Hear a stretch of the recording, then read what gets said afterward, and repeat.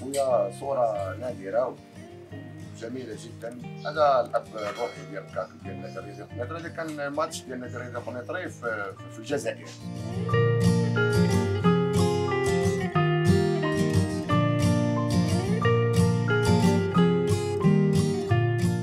أنا محمد آه، زيادة وخلوق هنا في الزنقه 34 آه، الزنقه 34 فيها لعابة ديال الكاك بزاف دازو.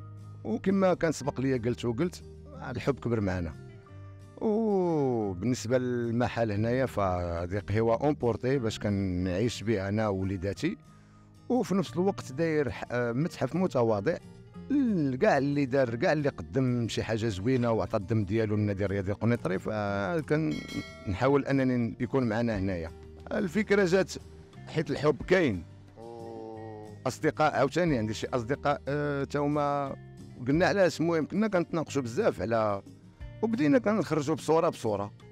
كاع اللي خلى أثر طيب في ال- في النادي الرياضي القنيطري كان كان يستاهل يكون هنايا. أول حاجة أنا ما درتوش لراسي درتو للناس درتو للقنيطريين باش يشوفوا فهمتي وكاين اللي تفكر الأيام كاين اللي كاين كاين كاين بعدا بزاف واحد الفئة من الجمهور اللي ما تعرفوش السميات ديال هاد اللعابة كاملين.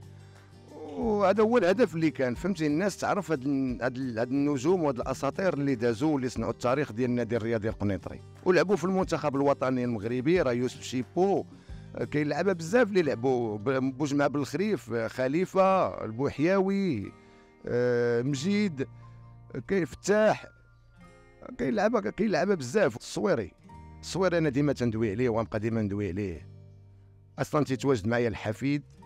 ديال الأب الروحي الصويري أنا الصويري هذا الحفيد ديال ديال ديال الحاج الصويري الله يرحمه ويولي برحمة الله. ديما معنا وتا هو عارف كل صغيرة وكبيرة وكيحب النادي الرياضي القنيطري. ديما يوميا كيجيو عندي لاعبين. يوميا وها اليوم كان معايا جا عندي واحد اللاعب وكان شرف كبير عبد الحق أمقران من صناع ملحمة 80 81 العام هذا كانت كانت كانت النادي الرياضي القنيطري كان فريق كبير كان 11 لاعبه و20 جالسه يعني كلهم كانوا لعبة في مستوى كبير. حقوا أنهم يديوا البطولة ب 91 نقطة وتعادلوا ماتش واحد مع الفتح الرياضي الرباطي فقط وربحوا جميع الفراقي وكانوا 20 فرقة. الأزمة اللي عاشها النادي القنيطري حرام يعيشها النادي الرياضي القنيطري حرام. أه أنا غنقول لك على الرؤساء كاملين اللي دازوا. أه الوقيتة اللي مشى فيها حكيم دومو جات لجنه تصحيحيه أه من جا البوعناني أه خدم رئيس ديال النادي الرياضي القنيطري. أه اش نقول لك كان كان كانت الكاك في, القسم الوطني الأول وحتى الميزانية يعني خلى فائض في الميزانية. مشى في حالاته وخلى فائض في الميزانية يعني الرئيس الوحيد كما كنقولوا لي خلى بلاصتو نقية. من بعد الرؤساء كاملين اللي جاوا من مور البوعناني فهم اللي دمروا النادي الرياضي القنيطري وهما اللي وصلوا لهذه الحالة هذه اللي كتشوف. المكتب اللي جا جديد برئاسة حكيم دومو. حنا كنعرفوه هو déjà خدم في الكاك. وكنا كنعرفوه تيبغي الكاك أنا تنتمنى أنه يخدم راجل لا هو لا المنخرطين اللي معاه لا المكتب اللي معاه لا المدرب لا كاع المكونات اللي اللي, جمعهم حكيم دومو. كنتمناهم أنهم يخدموا رجال يخدموا بضمير ما يضيعوا حتى واحد. لحقاش هاد المكاتب كاملة اللي دازت ضيعوا ضيعوا أجيال.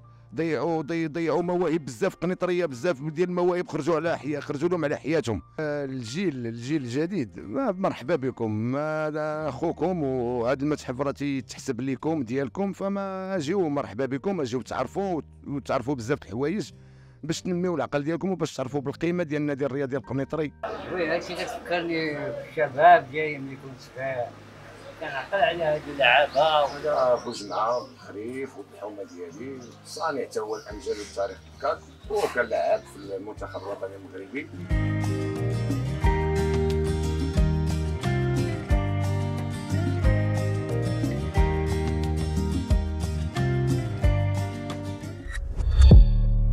ما تنساش تشترك في القناة وتفعل الجرس باش يوصلك جديد الفيديوهات من هسبريس.